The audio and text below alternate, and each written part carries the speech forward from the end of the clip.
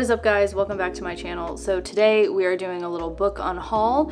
Boyfriend and I are moving into a new unit, um, into a two bedroom instead of a one bedroom which we are currently in, um, within our same apartment complex next week. We'll probably already be moved by the time this video goes up. I wanted to clear some space on the shelves because of this Reading Around the World challenge that I'm doing. I end up thrifting a lot of books um, and so I've just started to notice that the shelves are a little bit full. I've got um, a lot of stacks that are, they're kind of like double stacks, which this bookshelf is really unique because it's like a 360 degree type shelf. Um, I will link it below. It's from World Market, not sponsored, but I do really love the shelf if any of you have been in the market for a new bookshelf. The stacks that I have that I have cleared basically means that I can put them up on Amazon, eBay, whatever, um, and hopefully maybe sell them by the time, like before we actually move, um, so that it's one less thing to take to the new apartment. So here's the other stack. Quite a few things in here. There are a total of 1, 2, 3, 4, 5, 6, 7, 8, 9, 10, 11, 12, 13, 14, 15, 16, 17, 18, 19, 20 books 20 books um, that I'm unhauling. Now this doesn't mean that I didn't enjoy them. Some of them, maybe they were like a gift or something um, and it's just not something that I would actually read. I have so many things on my TBR now because of this Reading Around the World challenge. It's kind of insane. so some of them um, I have read but like know that I'm not gonna reread. Some of them I bought years ago like I don't even remember when or where I bought them from. The whole point of doing this video is hopefully like you guys can actually get some, maybe some book recommendations, even if I haven't read them. Maybe it's something you just haven't seen before. So I'm gonna start with a few that are actually boyfriends. I haven't gotten his permission yet to sell them, so these may go back on the shelf, but I'm gonna leave them out in a little stack for him to peruse and kind of look at so that he can decide whether we're gonna keep them or not. The first one is Alice's Adventures in Wonderland by Lewis Carroll. I wanna say this is one that we actually read together. That was like one of the cute little things we would do when we were dating and I would like go over to his place as we would read like children's books. We would sometimes read like a chapter and pass it back and forth or we'd each read a page and then pass it back and forth. I just feel like it's not gonna be one that we pick up again Another one that we read together was The Richest Man in Babylon. We actually did get a few little nuggets of wisdom um, about like financial financial advice out of this. This is by George S. Clason, but we're definitely not going to reread it. Um, so I will put this on his stack to decide whether or not he thinks he might flip back through it one day. Another one that he, I think he started but didn't finish, How to Think Like a Fish. This is Jeremy Wade's um, memoir. Is it a memoir? And Other Lessons from a Lifetime in Angling. Yeah, so it's basically like Jeremy Wade's memoir. He's the um, River Monsters guy. If you've never seen him before, that's him. Um, he's got that show on, is it like the Discovery Channel? No, Animal Planet. It was one of the most watched, most successful programs in Animal Planet's history. So that's kind of interesting. So if he's not gonna finish it, this will be one that we can sell. Another one that we tried reading together, I feel like so bad mentioning this in a negative light because I loved this the first time that I read it, which was like years ago. I don't even remember. It's Brave New World by Aldous Huxley. I don't know, something about it's just maybe not a great one to read together out loud um, because there's so much in the beginning there, so many specifics, so many numbers and things with the test tubes going back and forth on the conveyor belts. And, you know, I think the ideas in it are great, but I feel like it's just not a great read aloud. it's not one that we enjoyed passing back and forth. We just like, eventually we just put it down. It's, it's definitely one that you're just gonna wanna like listen to or read on your own. Um, so it just wasn't a great buddy read we found for whatever reason. One that we got for for, or two that we actually got for, um, I want to say these were like Christmas presents, so I feel kind of bad, but they're just not the type of books that we're probably ever going to read. So this is Brian Kilmeade's The President and the Freedom Fighter. Don't get me wrong, I'm sure there's a lot of important information in here about history. It's Abraham Lincoln, Frederick Douglass, and their battle to save America's soul. We just don't read history books like this. Now we love like Killers of the Flower Moon, and we're excited to like see the film and everything. Like that's like a history book that I really loved. It kind of reads like fiction fiction. And maybe this does too, I don't know. But it's just not, I just know I'm not gonna pick it up. It is not the kind of book that I that I gravitate towards at all.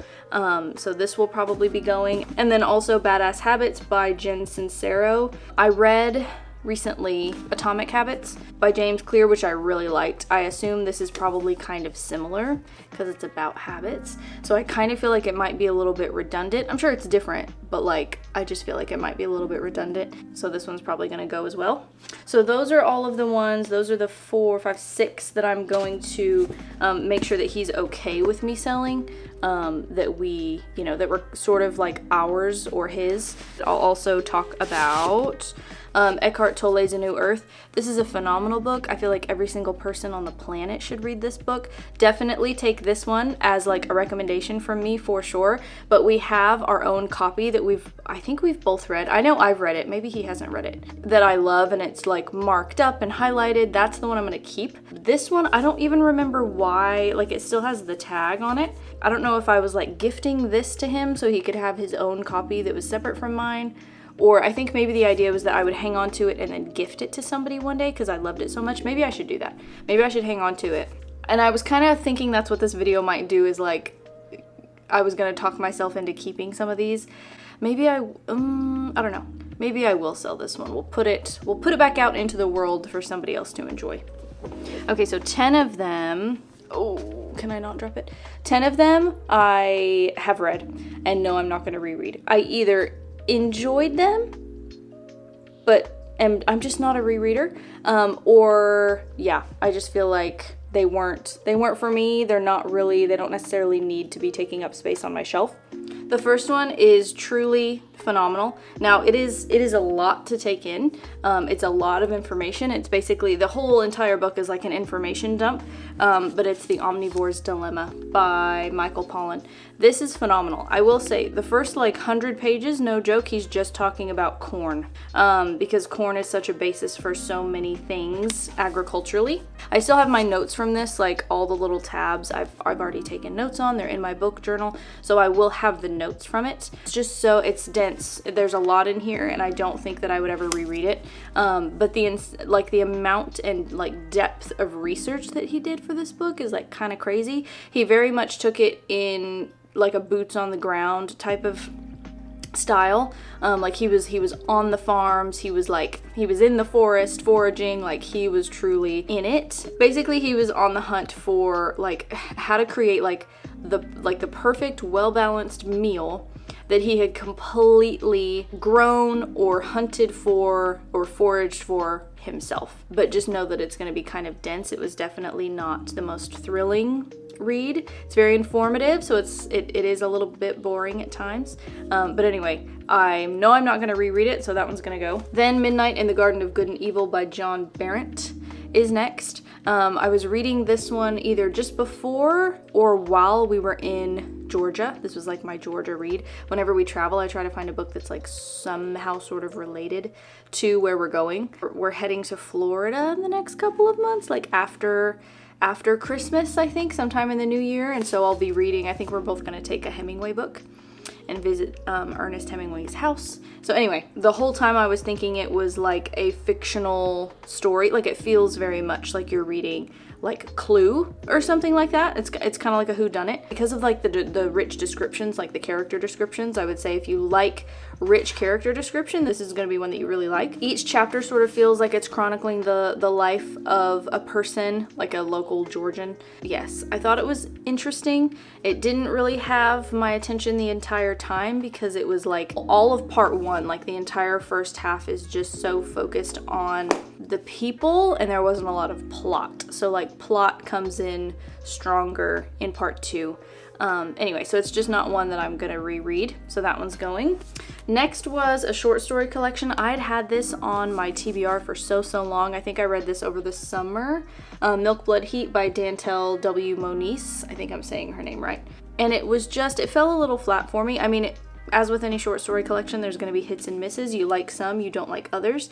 Um, it takes place in Florida, so this would be a fun one if you are planning a trip to Florida like we are. So it was not it was not a five star for me, um, so I know it's not one that I'm going to reread. Next is another author who they write very well, like their prose style is lovely, and I know she's quite well known and well loved. Um, so this is going to be an unpopular opinion. She's like an international best-selling author.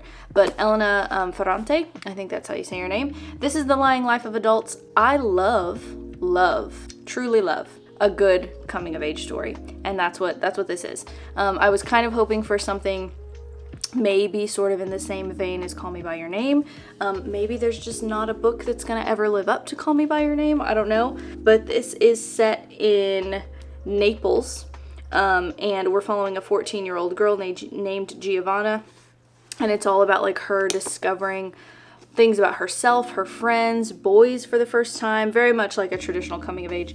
But I don't know, there was just something about it that fell a little flat for me. I just was not hooked. I was not hooked. I would read Ferrante again, um, to try to see if there's maybe just another novel that I would like more than this one. I don't know, it just didn't hit the spot, you know? So anyway, that one's going. Next up is The Way Spring Arrives and Other Stories. This is um, female and non-binary authors, uh, and it's Chinese, Chinese science fiction. So it's a Chinese science fiction and fantasy short story collection, um, obviously translated into English. There were some really good nuggets in here again, you're gonna like some and you're gonna not like others. So that's the reason why I'm getting rid of it. I just didn't, I didn't love every single one of them. I thought some of them were super creative and like way out there. Like in the description it says, you can dine at a restaurant at the end of the universe, watch roses perform Shakespeare, or arrive at the island of the gods on the backs of giant fish to ensure that the world can bloom. There was a couple essays in there. Actually, there was one of them. That was one of my favorite things was there was an essay that was so good about like female Chinese writers trying to bust out into the science fiction fantasy genre. They would have to like change their names sometimes in order to get published somewhere. Oh no, here it's called Net Novels and the She Era How Internet Novels Opened the Door for Female Readers and Writers in China. Um, I think I enjoyed that essay more than I enjoyed the stories themselves, so that's definitely one to check out if you pick this up. Next was Get in Trouble by Kelly Link. Um, again, this is one that I, I've had like saved on Pinterest on my to be read board for a really long time. And I don't even think like there's not a single tab in here. So I think like it just didn't resonate with me. Like there was nothing that I need, I felt like I wanted to mark up. Nothing that I just felt like, you know, was like super interesting, I guess. This is also a short story collection. There are nine stories in here. And I remember a few tiny little details, um, but most of what these were about escapes me because nothing just reached out and grabbed me. So I would give Kelly Link another chance though, um, for sure. Like if she's got, I, mean, I know she has other stuff out there. So I just need to see what else she has and maybe I would like those things more. The last couple that I have to mention are ones that I generally did enjoy. Um, I just know I'm not going to reread. So My Year of Rest and Relaxation by Ottessa Moshfegh. I just recently mentioned this actually because I read Lapvona, um, which is another one of her novels that I loved. Takes place in medieval times. It's much darker than this. This is like, I think I was saying in that video, it kind of encapsulates the millennial mental health struggle. So if you're wanting something like that, it is sort of relatable in that sense. So it was fun, but it's not gonna be a reread. Next is Black Girl Call Home Poems by Jasmine Mans. I think I'm saying her name right. Um, I've had this cover pinned for the longest time. I'm obsessed with this cover. I think it's so, so cool. I love all the colors and the barrettes. I think it's so, so cute. Um, this one is quite punchy. It's kind of a punch in the gut. There's a lot in here that's so true, like if you're living a female experience. You're gonna be able to relate to a lot of things in here. I thought it was really great. She talks a lot about like the relationship with her mom in here. She talks a lot about like gender and like hypocrisy and just like male versus female and yeah she makes some really some really interesting points and the poems are really really accessible. Most of them are pretty short. And i do recommend this one but i just know it's not one that i'm going to probably reach for again so that one's going to be put up for sale. Another short story collection. Maybe this is like a trend that i need to like notice is that I'm not the biggest fan of short story collections. This is I'm Fine But You Appear to Be Sinking by Leyna Krow, Leyna Krow. This is one that I, the cover, the cover for sure is what got me. It's got this sort of like 50s resort vibe to it, but then we have like a little astronaut down here in the corner and then there's like a sea monster octopus friend coming up out of the, out of the lake. Um, but these are like science fiction short stories. One of the things that I thought was really interesting is Spud and Spud 2. This was like a recurring short story. So like you would read